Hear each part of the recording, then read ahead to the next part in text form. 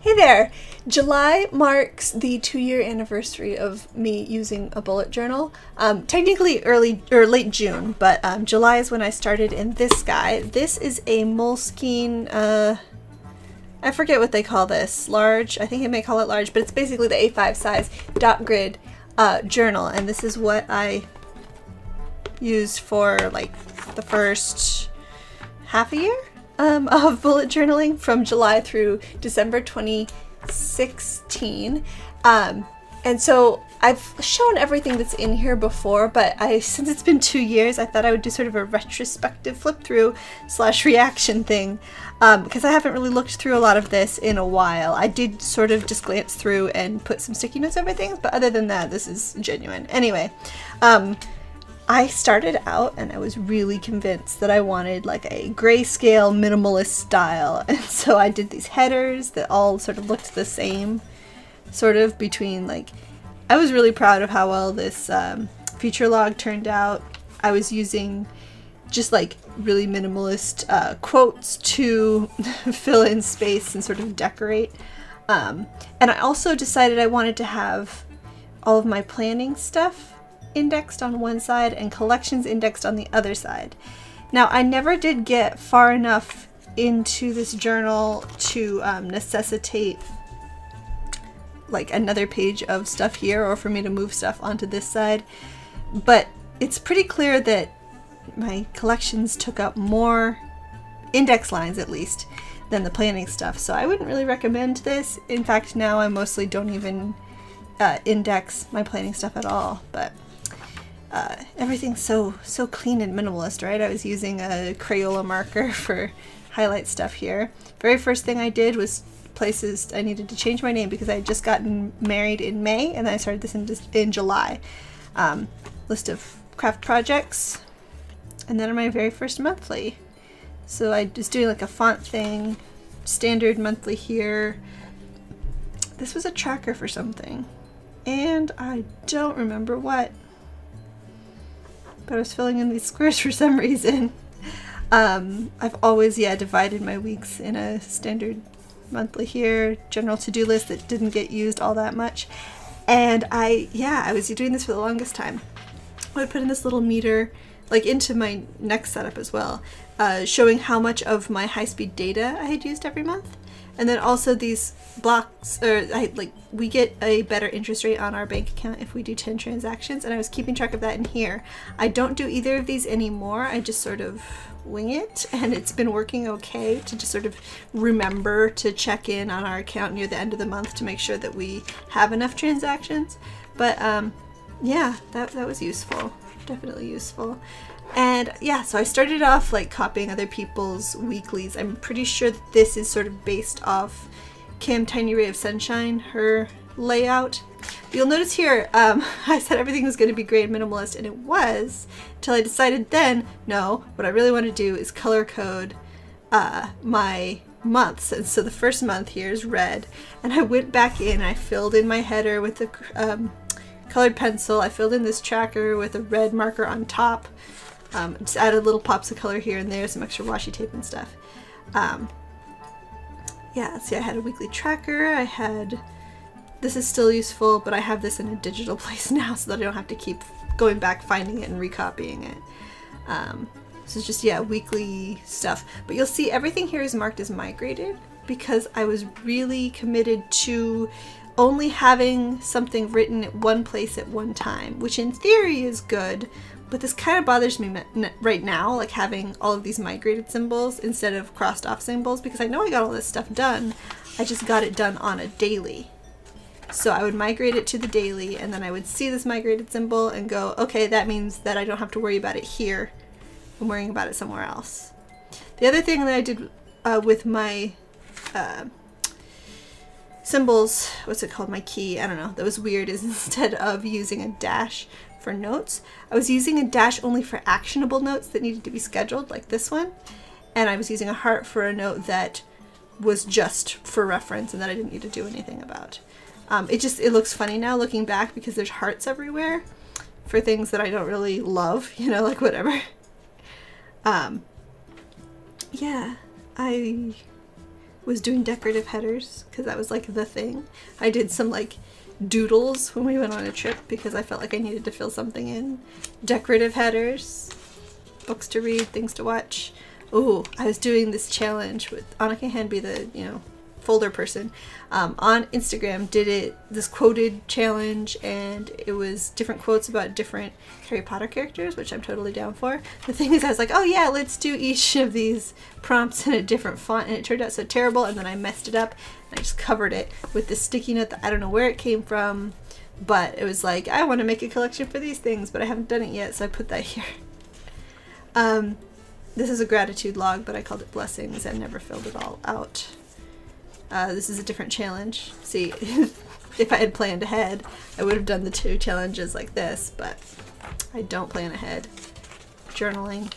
Another same, same exact style for the weekly, except I started doing all those quotes. So those are the quotes here.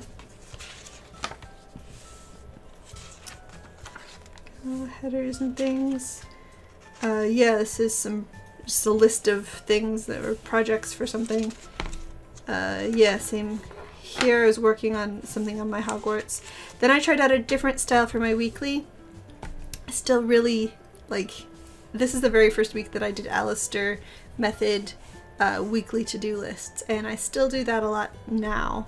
Um, so there you go. That's where that came from. More quotes. I was printing out some stickers. Oh man, I had forgotten that I went all the way back this far to print out stickers.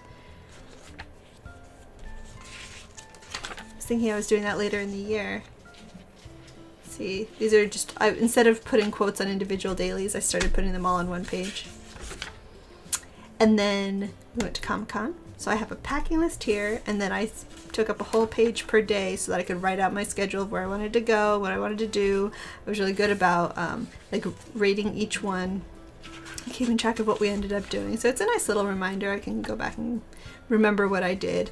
Actually took notes in some panels, which was cool. Um, went to a you know a panel about costume design, kept track of what I was spending. Another weekly and dailies when we got back see, planning a podcast episode. Uh, still kind of do it the same way now. Oh yeah, this this uh, page, I just felt like I wanted to sort of commemorate the fact that, like, it was it was helping. The Bujo was really helping, and so this is just titled because I had my bullet journal and just a list of things that I got done because I had a place to write them down and accountability for it. And then this is a weekly chore list, which I had kind of forgotten about basically I just had a column for each week and different rooms, things I wanted to get done each week, and I crossed it off when I did it. But I don't remember if I had to remember to come back to this or if I put it on my weeklies or dailies or whatever. Some of these stickers you'll see now are from Comic-Con. Same, basically the, the monthly stayed pretty much the same throughout here. But you'll see now uh, instead of red, everything is yellow. Same weekly, same dailies. Uh, go. We went. We got universal passes, so I marked off all the blackout dates, and then I also like kept track of when we went, and I would circle those dates. Um, looks like I did not come back and fill them in because January, February, I was in a different bullet journal. Um, again, a case of not planning ahead. I should have done debt payment and savings on two facing pages, but did not. Date night ideas, like, never did most of these.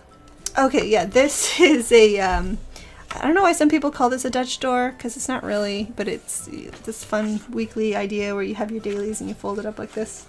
So you can see your to-do list every day and the daily that you're on. Um, yeah, I had a lot of fun with it this first week, so I tried it again the next week here. Uh, in between we have, let's see, a wish list of things I wanted to save up for and color swatches for my uh, Stabilo fine liners. Did it again this week, found that I wasn't using up all of the space that I, you know, had and sort of thought maybe that's not the best or whatever and I'll try something else.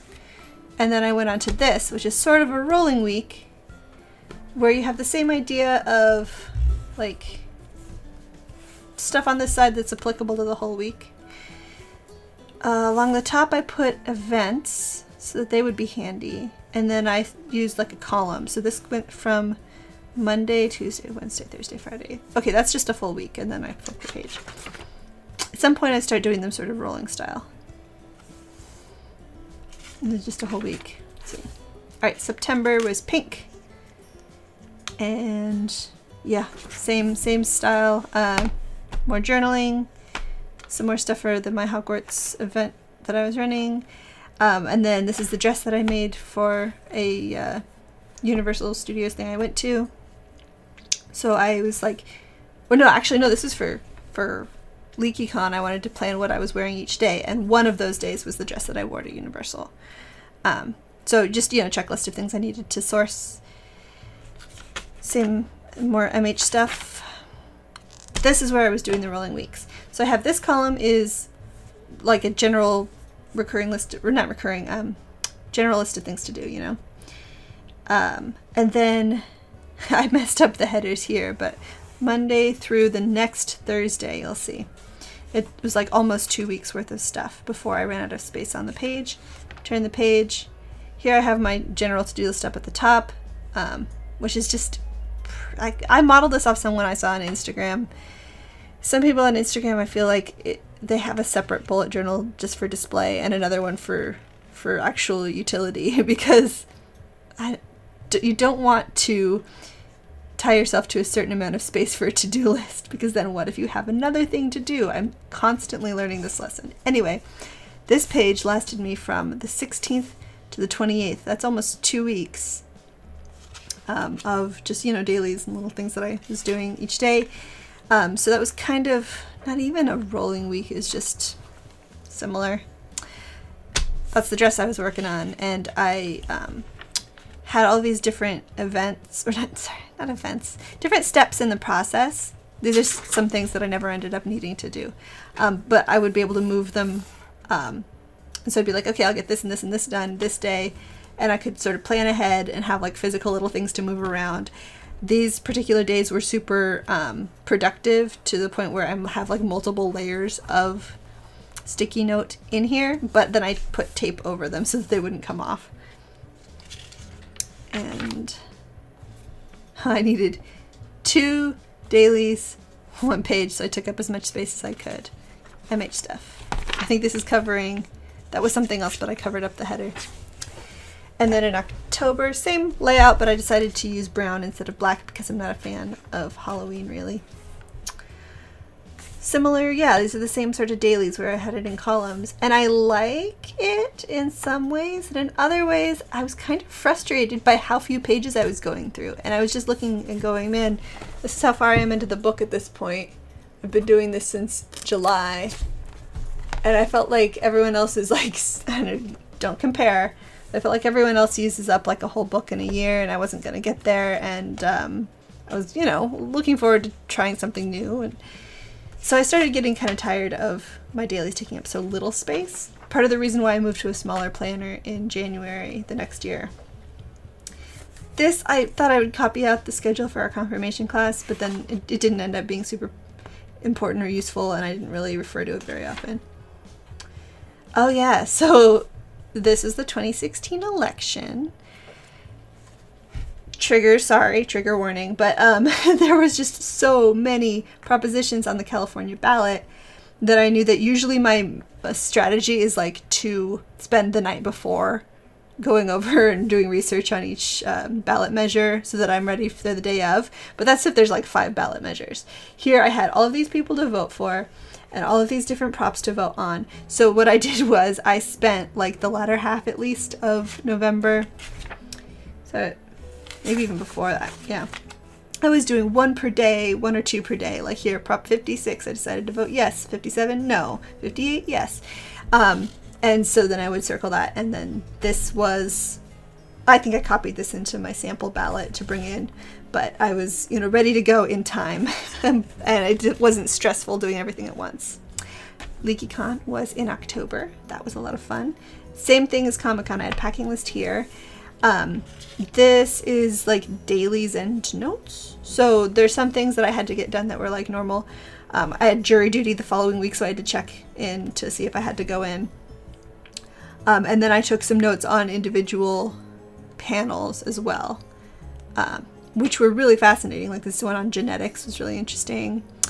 Um, and yeah, so those are dailies. But then these here are the actual schedule of events at the con. Um, the thing that's different about LeakyCon compared to Comic Con was that it was this was the small one in Burbank in 2016. So it was the first time they were splitting it off of GeekyCon, and it was just the Harry Potter stuff, and it was really small. Like it was just one hotel, so everything was like the 10 minutes between panels you could get from one side of the con to the other and it wasn't a problem. So I didn't have to do as much planning. I could basically, by Saturday, Sunday, I was just pulling up the app that had the schedule on it going, okay, what's the next hour? What do I want to go to? Just picking it going. And it wasn't a problem. So I ended up just sort of writing down things that I went to after the fact instead of using this for planning. Um, I think these little uh, pencil markings are when the market was open and closed because unfortunately for whatever reason the market was only open during the panel period and not like between the panels and the evening activities. This would have been a perfect time to go shopping, but they closed the market, so I had to make sure to slip in either if there was occasionally there was a panel section I didn't like a an hour of panels that I didn't want to go to, but mostly it was stuff that I was interested in. So it was like the 10 minutes between panels I would jump in, shop around a little bit, and then go. It was uh, very busy, but a lot of fun. More tiny dailies, and then we're prepping for NaNoWriMo. These are all sort of notes. I was doing Script Frenzy that year, like as a rebel. If you are in Nano, you know what that means. If you don't, don't worry about it. Um, same exact thing for uh, my monthlies. I think this was events and this was tasks. These are weekly tasks for the whole week. These were, yeah, tasks that like, hey, let's get this done sometime this week, as opposed to tasks for the whole month. And then this is a tracker um, for the whole month. I mostly don't do more uh, monthly trackers, but uh, for a period of time I decided I wanted to. November was one of those months.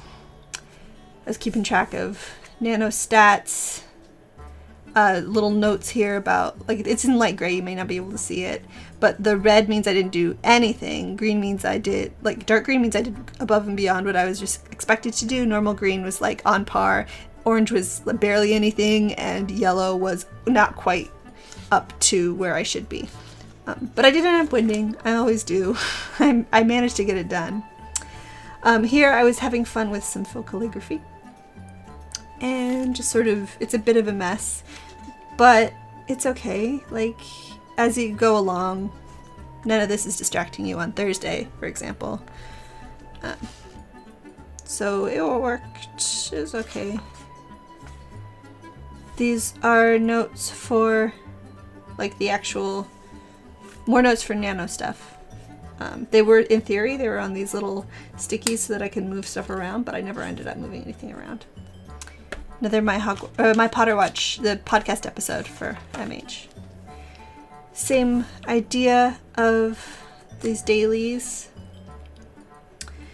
Um, that was election day, so that was fun. These, I think, these little dots and lines were some sort of tracker I was doing for how many pages I was writing in my Nano script, and I don't remember how that worked, but it did, apparently. And then I decided that I needed full page uh, charts for everything that I was writing. So this is like how many pages. It's out of 100 pages for Script Frenzy. Um, so I did get there in time, just on the 30th.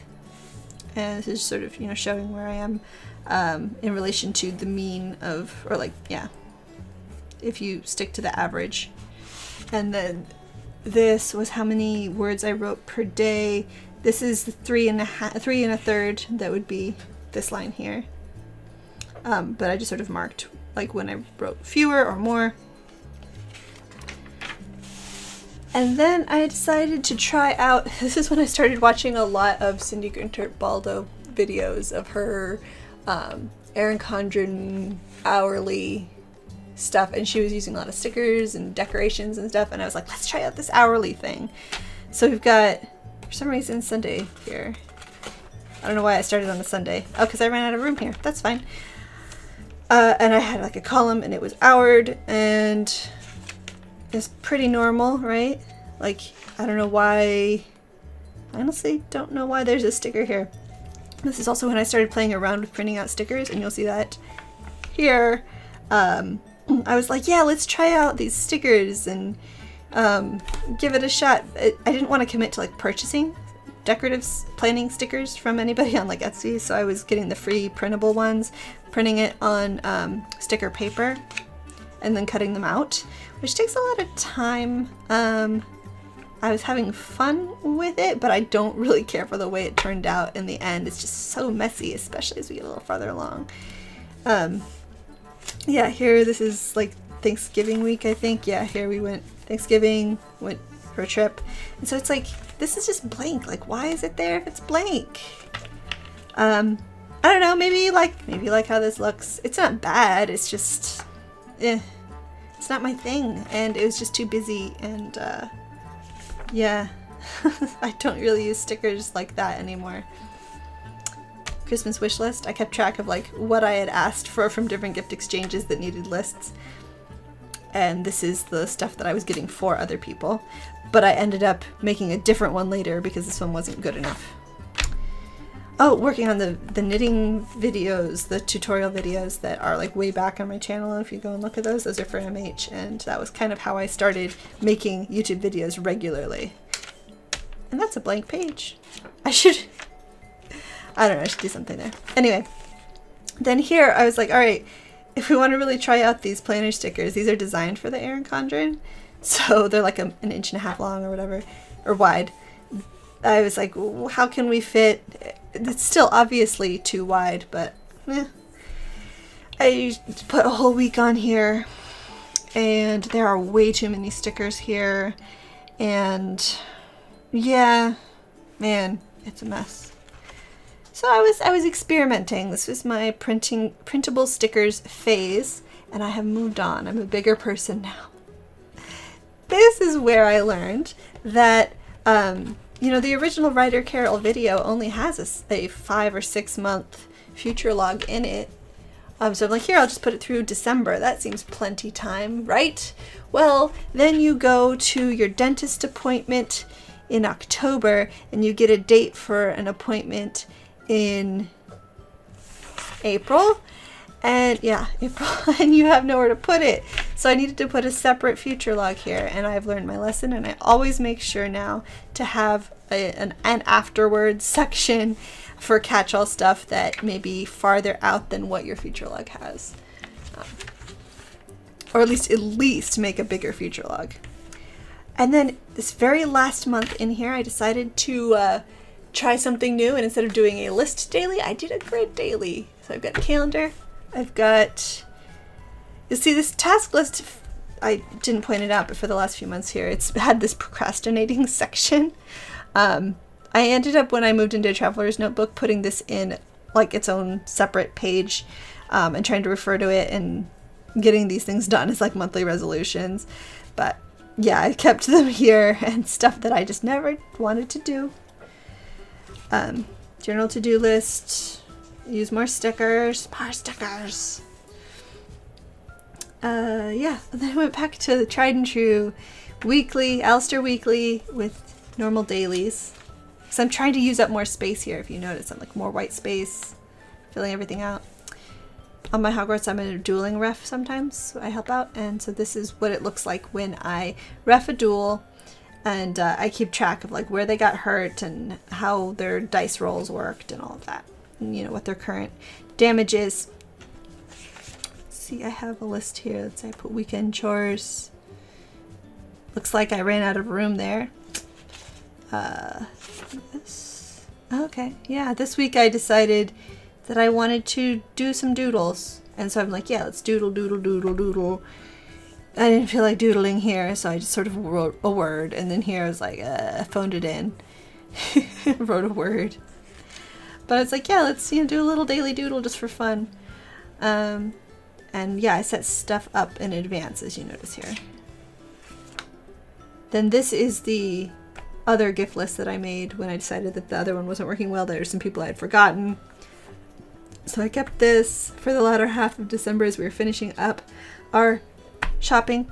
And then I made a list of Christmas movies I wanted to watch. And I did get most of them done. These little dots and colors are for where the movie was available to watch it. And then I started planning out what I was going to do. I, I had decided that I was going to keep going because this is how far I was, about halfway through.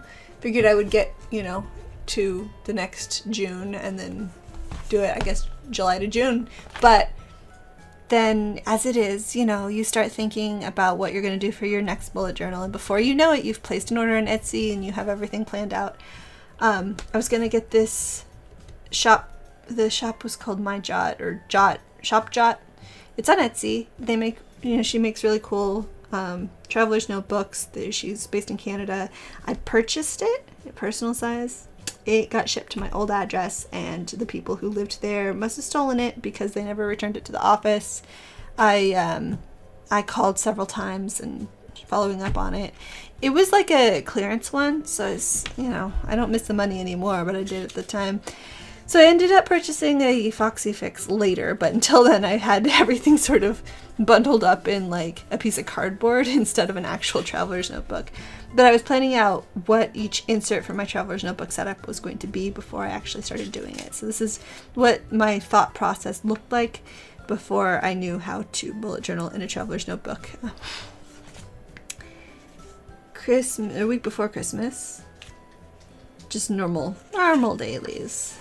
And then for the weekends, I think we had, did we have the Friday off? Maybe we did. Yeah, so we had Friday off and Monday off, so that's cool. Um, because Christmas was on Saturday. No, Sunday. That was a good, a good year for holidays around Christmas. Uh, so here I have like just a to-do list for Christmas Eve and the day before gifts to wrap, stuff around the house to clean, general to-do list and notes, and other things like prep stuff that I needed to do, right? Then for this day, the 24th, and for the 25th, I have just an hourly with events because really there's not a lot of to dos on Christmas. It's just which party do you have to be to when, and we have several. So um, we went to Mass, had Christmas Eve all evening at the house. Then we went to another Christmas party, another Christmas party, like three in two days. It's crazy, but it's perfect because we get to go to everything and we don't have to miss anything. But um, yeah, there was like one to do, and it was giving a, uh, a Christmas card that had gotten returned to sender. Then some general dailies. Oh, the Mildliners that I finally bought. My first Mildliners with um, I had some Amazon credit from a few different promotions, and so I like the day after Christmas. Yeah, I went and I um, I placed a big order with all of this uh, promotional credit that I had to get all of the stuff that I hadn't gotten off my wish list and get myself some Christmas gifts. So that was fine. And one of those things was the Mildliners. We go to-do list, daily dailies, and then this was sort of the idea stuff that I had um, for these little trackers that I was using early on when I was in my traveler's notebook. Um, you can always go back. This would be like January, February, early 2016.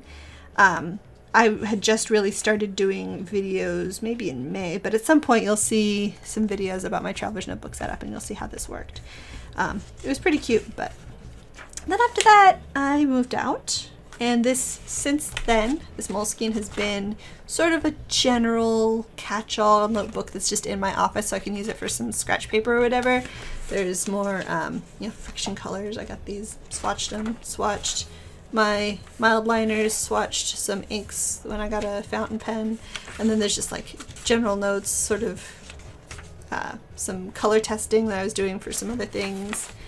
Playing around with Tombos when those came, and yeah, just general stuff that is, um, there's still, see, this much space left in the notebook. So I've been making good, good space use of it and I will, you know, won't be empty forever, but I figure I may as well still use the leftover pages in here.